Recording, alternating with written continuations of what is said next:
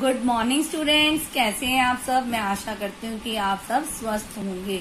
तो मैम, आज आपको एक और अनुच्छेद करवा रहे हैं, जिसका नाम है व्यायाम के लाभ। व्यायाम मीन्स कसरत एक्सरसाइज हमें आपको, मैम भी बताते हैं ना कि हमें एक्सरसाइज करनी चाहिए, उससे हमें बहुत सारे फ़ायदे हैं। तो व्यायाम करने से क्या क्या लाभ होता है, वो हम इस अनुच्छेद में लिखेंगे। आपको मैम ने पहले भी बताया हुआ है कि ये मैम लिखवा रहे हैं। अगर आप इसके अलावा आप अपनी तरफ़ से भी अगर आपको कोई और लाभ आता है तो वो भी आप इस अनुच्छेद में लिख सकते हो।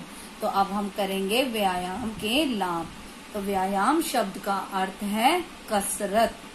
शरीर को स्वस्थ रखने में व्यायाम का बहुत महत्व है। यदि हमारा शरीर स्वस्थ रहेगा तो मन भी प्रसन्न रहेगा और हम हर काम आनंद से कर सकेंगे। आनंद में खुश होकर प्रसन्न होकर कर सकेंगे। और व्यायाम करने से हमारा शरीर ताकतवर बनता है। इससे हमारा शरीर निरोगी रहता है, अर्थात हमें कोई भी बीमारी नहीं होती। अगर होती भी है तो वो जल्दी ही ठीक हो जाती है।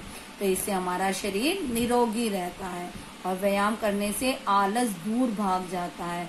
अर्थात हम हर काम को सफूर्ती से, चुस्ती से एक्टिव होकर करते हैं। इससे हमारे शरीर का रक्त संचार भी ठीक रहता है और इससे त्वचा में भी चमक आ जाती है। व्यायाम करने से शरीर के विकास के साथ साथ मानसिक विकास भी होता है।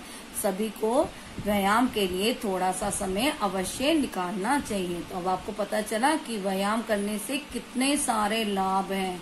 हमारी त्वचा में चमक रहती है, हम परिश्रमी आलसी नहीं बनते हैं, हम परिश्रमी बनते हैं, हमारा शरीर निरोगी रहता है, हम ताकतवर बनते हैं, हमारे शरीर का रक्त संचार ठीक रहता है, हमारे शारीरिक विकास के साथ साथ हमारा मानसिक विकास भी होता है। तब आप सबको इस अनुच्छेद को अपनी हिंदी की नोटबुक में लिखना भी है और उसे याद भी करना है। धन्यवाद।